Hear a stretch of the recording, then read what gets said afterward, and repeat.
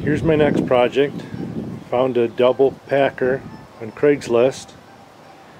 I went to go pick it up and when I pulled in the guy asked me how I planned to load it. And I discovered he had four tractors with no loaders. Uh, luckily they're all held together with nuts and bolts and if you take enough nuts and bolts out the pieces become small enough that you can lift them. So an hour and a half later I had it disassembled enough and I loaded it in the trailer by hand. I'm going to go through it, uh, clean it all up and put her back together. Yeah, I've got the hub that holds the two axles off the double packer right here. I'm going to go ahead and start taking this apart so I can check out what's inside and see what needs to be done.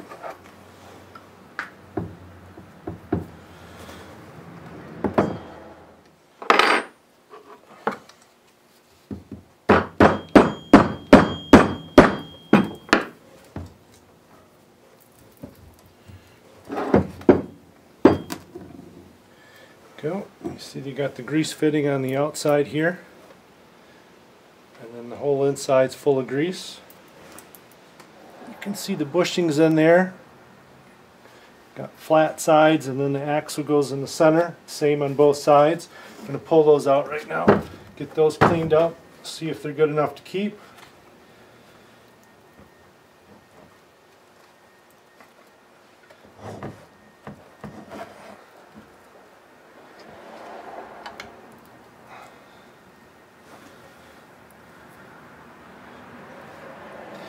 Doesn't look too bad. Uh, it looks like this one's wood. Sometimes you find wooden ones in them. I pulled them out of the other end and the other side had cast iron ones in it. So I got one packer and one side's got wood in it and the other side's got steel in it. I've got the frame here. Some of the bolts are loose but they're so rusty I can't tighten them back up. You can see this one back here. Sometimes the best thing to do is just cut them all off and start over. That way you can square everything up and everything's tight.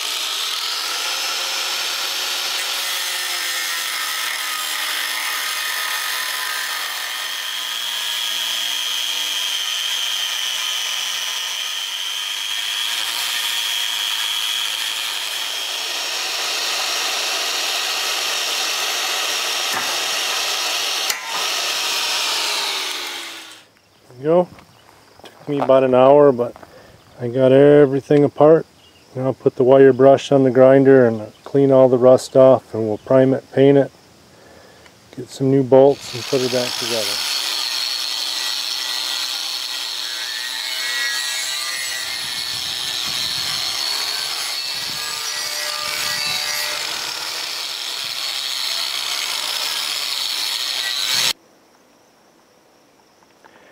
Good coat of primer on them. We'll get the other side yet. Started cleaning up the end pieces. Hit them with the wire brush on the grinder first.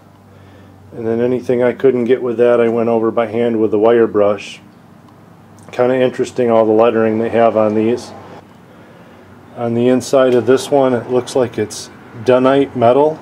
I don't know if that's the company that provided the steel. And then a number 163 it says patented right there, but I can't find a date.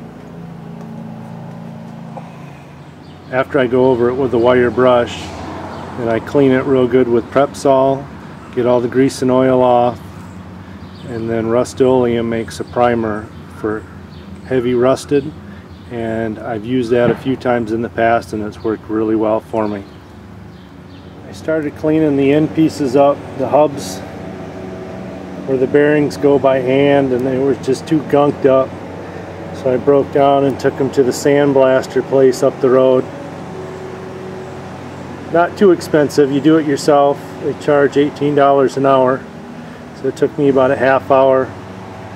But as you can see, they're pretty much spotless. All the grease is gone and all the rust is gone. So it was worth it. I've got a washer on each one for a spacer and then the longer ones in the back slide right up in there like that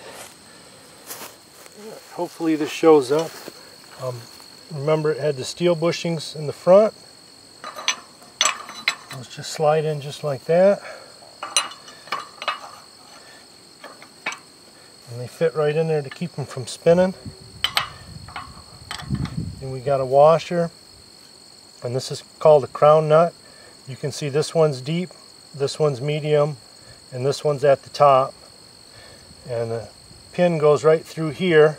So you can put that on and then you turn it till it lines up tight and we'll put a cotter pin right through there to hold that in place. Um, when I actually put it together I'm going to grease everything up good.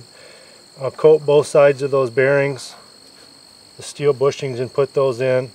Um, I always like to make sure everything lines up on all four pieces before I do that uh, just so if you have to take something apart it's not all covered in grease.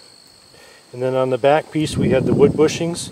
When I took them out I had one that was still good, which is this one, and then I had a second set made. Um, a friend of mine who does woodworking made these for me. I believe they're oak, and he just used the other ones for a template. I'll grease these up real good on both sides, and we'll use those on the other end. And these just go in the same way as the other the steel ones. Slide one in on the bottom, And get it in there straight.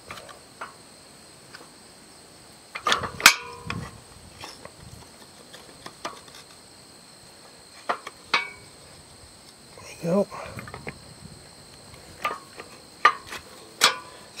Slide one in on the top, just like that. Washer on, and then we'll get our crown nut again. And get that to where it lines up right with the hole. Um, if this doesn't line up right, the easiest thing to do is tap the other end with a sledgehammer and move that axle out and then take a wheel off. There's no way you're going to slide all these wheels down if it doesn't work right. So uh, you do have to spend a little time with it. And ideally, when you got it all together and the wheels all together, what you want to do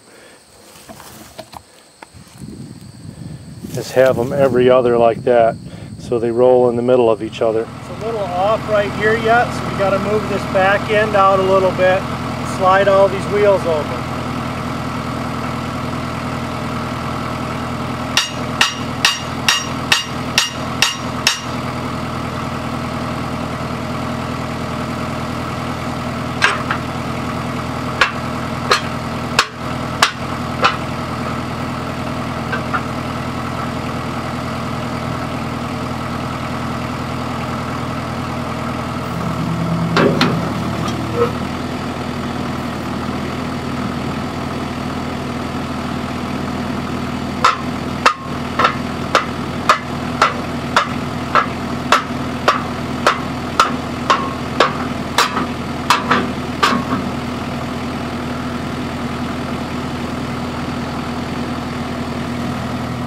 Okay, I've got all four in place and the bearings in, cotter pins holding everything in place. Next thing we do is we put the grease end cap on. I always put a little form Form-A-Gasket around it just on the seal like that. Helps keep the grease in, keep the water and dirt out. Make sure you put the grease fitting up. That'll save you a lot of hassle in the long run. And you'll notice that there's a little gap in the ears right here. If you crank on this too hard you'll snap that off and this is cast and that makes it difficult to weld. So when you put this on I always put them in finger tight and then you're going to want to tighten the top and the bottom evenly just till it's tight. Don't crank on it because they will break off.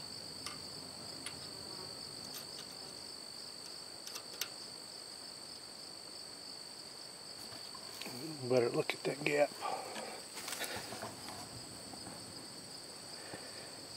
See it right there. Alright, we've got the caps on both ends. We're ready to start putting the arms in. You can see the shape of this right here. Kind of slides right in and goes like that. And then it's got this bushing right here. It goes right through here and that's what it hinges on. Slide that in and then it's got two washers you can see them here and they got grooves on the back and there's slots right in here. So once we get our bolt, that bolt locks right into there like that.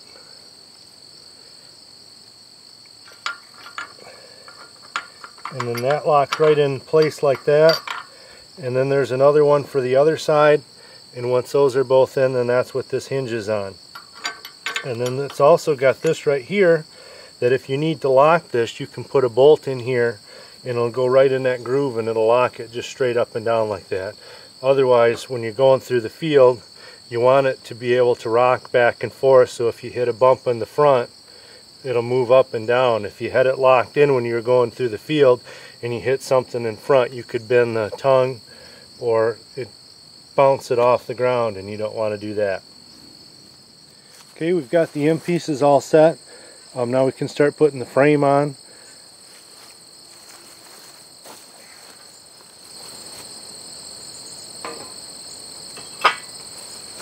A lot of these will have the drill pattern in where your support brace will come on an angle up to the tongue so you got to make sure you put the close ones in the front and the farthest ones in the back but on this Dunham they've got the holes drilled on both pieces so you can't uh, really mess this one up.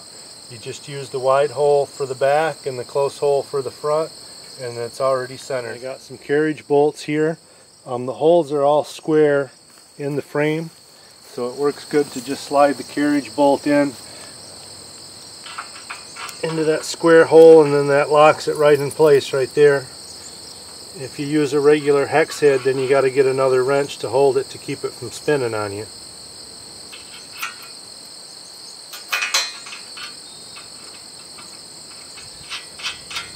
And just like everything else, I just put everything finger tight. That way I can square it all up, make sure it's all going to work before I get everything tight.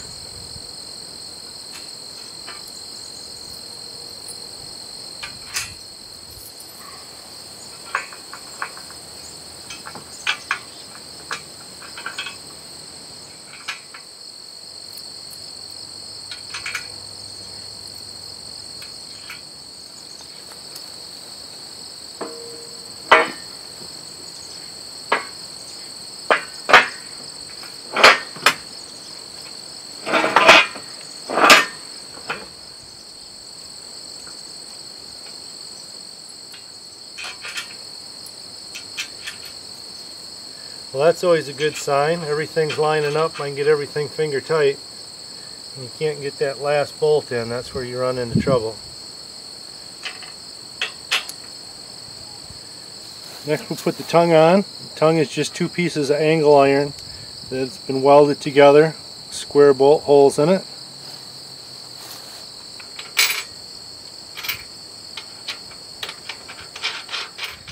Carriage bolt it's got the square right around the base. And back in the day when they made all this stuff they made all the holes square. When that carriage bolt goes in there it doesn't turn. You don't need a second wrench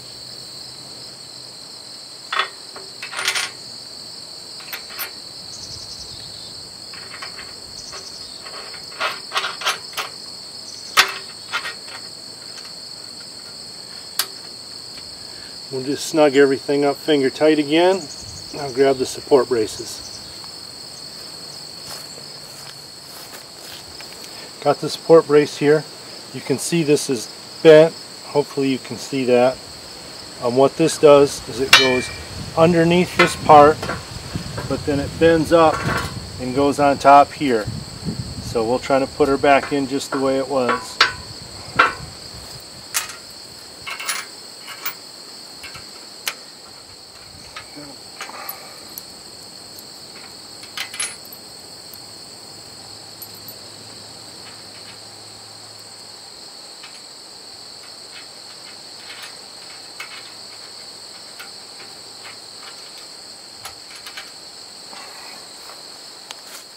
Alright, everything's together, everything lined up.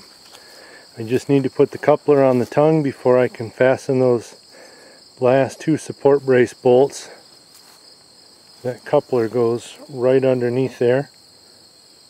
And then uh, we'll put the square on it. There's a little bit of wiggle room in there. I'll pump it full of grease and we'll run it for a little while and I'll put some more grease in it again and we should be ready to go. And everything is done and tightened up.